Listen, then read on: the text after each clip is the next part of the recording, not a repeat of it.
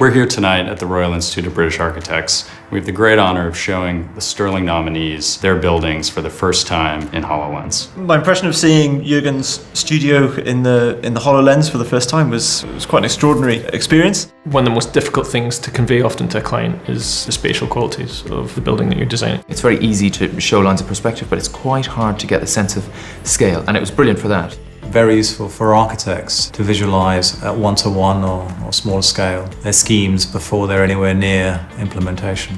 You can bring your 3D model up as a hologram and experience it as you're going to experience it when it's ultimately built. The ability to move around and through and to see with a kind of level of detail was very powerful. I can see absolutely how that could become part of a workflow.